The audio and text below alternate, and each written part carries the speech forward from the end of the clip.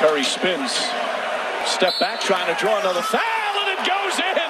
Oh, Steph Curry with a circus shot and the foul. Was that a three or a two? It'll be interesting. It's most, one of the most incredible and ones you'll ever see. Grant Williams saying, he's holding me. He wants Brad Stevens to challenge it. It's a two-pointer. You can't challenge that. That's a foul. It's the second time a big guy switched off to Curry and is then trying to contest. You need to stay